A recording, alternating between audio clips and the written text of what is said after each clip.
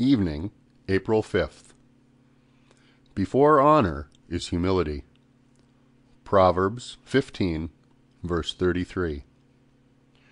Humiliation of soul always brings a positive blessing with it.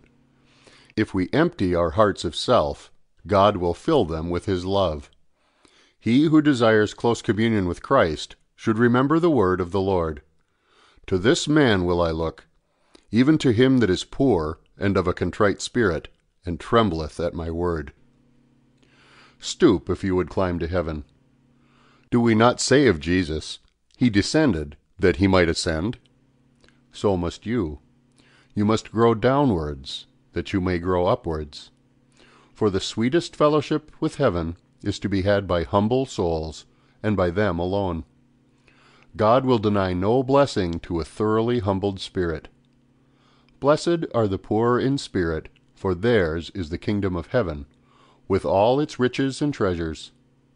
The whole exchequer of God shall be made over by deed of gift to the soul which is humble enough to be able to receive it without growing proud because of it. God blesses us all up to the full measure and extremity of what it is safe for Him to do.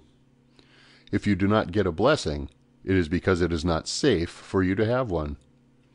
If our Heavenly Father were to let your unhumbled spirit win a victory in this holy war, you would pilfer the crown for yourself, and meeting with a fresh enemy, you would fall a victim, so that you are kept low for your own safety. When a man is sincerely humble, and never ventures to touch so much as a grain of the praise, there is scarcely any limit to what God will do for him.